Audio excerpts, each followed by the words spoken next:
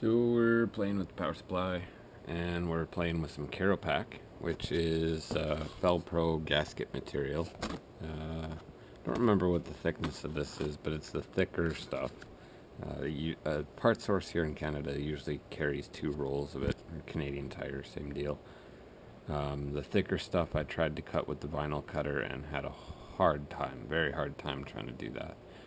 The uh, thinner stuff I had an easier time with, but I just had a hard time trying to keep it uh, keep it going through the cutter and remain flat enough to, to cut. It wanted to keep it kind of in rolled form. I ran some plastic through to try and keep it flat, and that worked.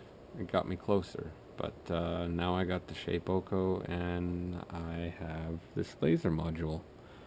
And this is only, uh, it's less than a watt uh, the exact same one on the Laseroko wiki guide there. And I think I'm going to upgrade.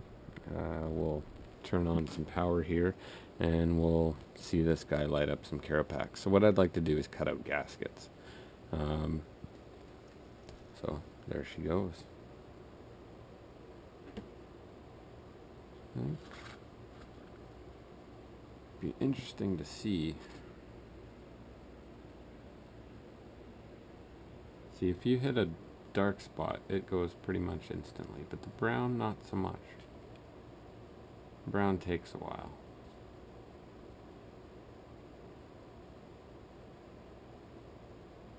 And that's burned through now.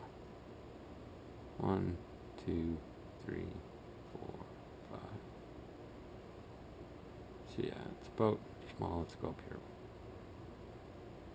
Pretty quick to ignite actually. There, there it's through. So,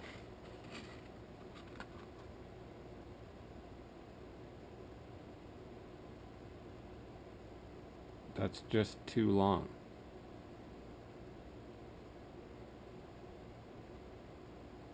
I mean, it'll stay, stay going. I mean, you can move along and tell the machine just to go really, really slow.